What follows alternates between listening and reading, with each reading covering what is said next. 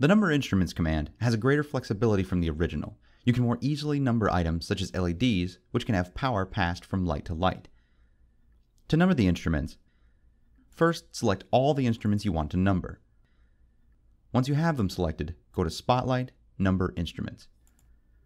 In the Number Instruments dialog, you'll see multiple columns where we can control how the instruments are numbered.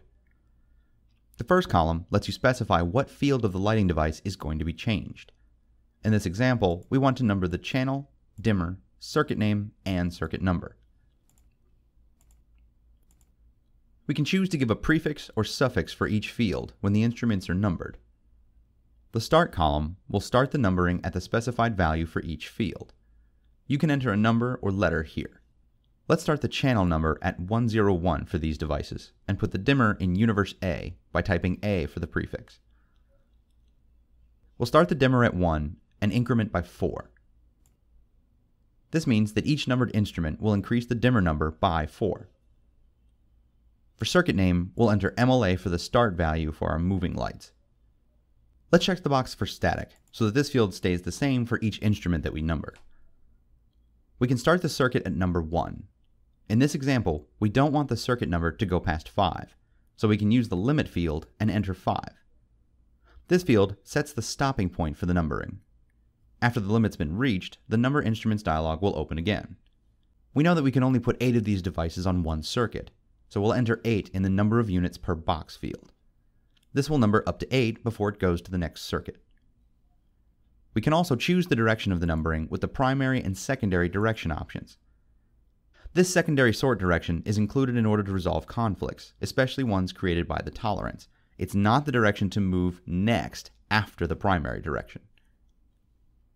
In this example, we just want a number from left to right without a secondary direction. Let's click OK to see how the instruments were numbered.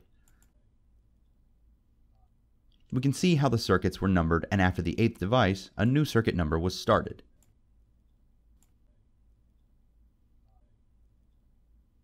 Now, we can go ahead and number the other instruments in the circle truss below. Select the devices, and go back to Spotlight, Number Instruments.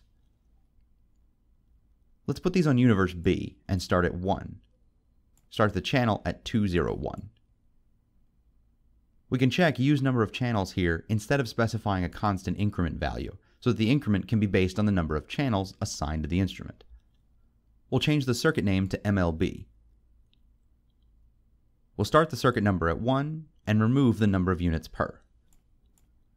For the direction, we'll choose clockwise, since these devices are on the circular piece of truss. We'll also choose outside to inside for the secondary direction, so that the outside devices are numbered first and the devices on the inside of the truss will be numbered second. Click OK to close the dialog. You'll see your cursor change to a crosshair icon. This will allow you to click on the first device to start the numbering on. We're prompted with the dialog because we set the limit to 5 and are numbering more than 5 units, saying that one of the devices is out of range for the circuit number.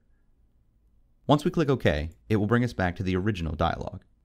We can now change the circuit name to MLC to start a new circuit. We'll also want to change the circuit number start value back to 1. Click OK again, and you can see that the devices were numbered properly.